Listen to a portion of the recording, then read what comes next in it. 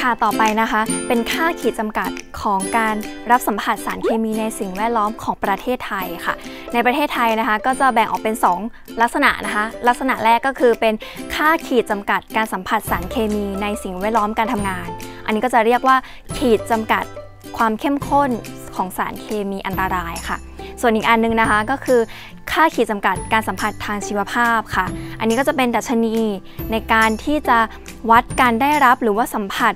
ทางชีวภาพสำหรับผู้ที่ประกอบอาชีพต่างๆ ที่ต้องได้รับสารเคมีนะคะ ก็จะเรียกว่า BEI ค่ะ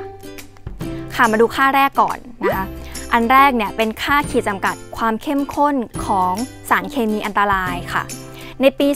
2560 เนี่ยเขาก็ได้มีการกำหนด ค่าขีดจำกัดความเข้มข้นของสารเคมีอันตราย ในประกาศกรมสวัสดิการและคุ้มครองแรงงานนะคะเรื่องขีดจำกัดความเข้มข้นของสารเคมีอันตราย เป็นการออกตามความในกฎกระทรวงของอาชีวอนามัย และความปลอดภัย เกี่ยวกับสารเคมี พศ 2556 ค่ะ โดยเขาก็ได้กำหนดขีดจำกัดความเข้มข้นของสารเคมีอันตรายออกมาเป็นจำนวน 324 ชนิดค่ะ ค่าขีดจำกัดพวกนี้นะคะ เขาก็ได้นำมาจากส่วนใหญ่เลยนะคะทำมาจากค่า PEL ของ OSHA ค่ะ ซึ่งหน่วยงานหลักนะคะที่ได้รับผิดชอบในของประเทศไทยเนี่ยก็จะเป็นกองความปลอดภัยแรงงานค่ะ กรมสวัสดิการ และคุ้มครองแรงงาน แล้วก็กระทรวงแรงงานค่ะ อันนี้จะเป็นหน่วยงานที่รับผิดชอบหลักๆ ของประเทศไทยเรานะคะ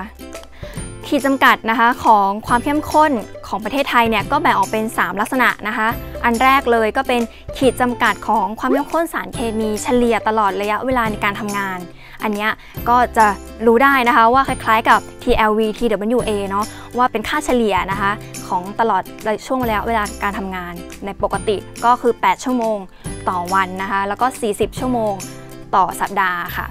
อันนี้นะคะก็เป็นค่าระดับความเข้มข้นที่คนงานเนี่ยจะได้รับเฉลี่ยตลอดระยะเวลาการทำงานนะคะ โดยที่ไม่เป็นอันตรายต่อสุขภาพค่ะ ส่วนค่าที่2นะคะค่าที่2เนี่ยเป็นขีดจำกัดของสารเคมี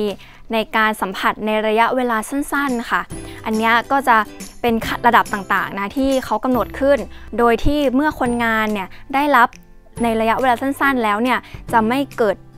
อันตรายต่อสุขภาพ ไม่มีการระคายเคือง ไม่มีการที่จะเนื้อเยื่อถูกทำลายต่างๆ ไม่มีไม่เกิดขึ้นเลยนะคะ และค่าที่3นะคะก็คือขีดจำกัดความเข้มข้นของสารเคมีที่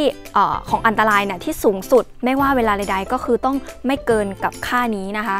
อันนี้ก็คล้ายๆ C นะคะเป็นเซลลิงก็คือค่าสูงสุดที่จะต้องห้ามเกินค่านี้เลยนะคะ ส่วนในเรื่องของ BEI นะคะ BEI เนี่ยก็เป็นค่าแนะนำเพื่อใช้เป็นมาตรการในการเฝ้าระวังสำหรับเฝ้าระวังสุขภาพของผู้ปฏิบัติงานในสถานประกอบการค่ะ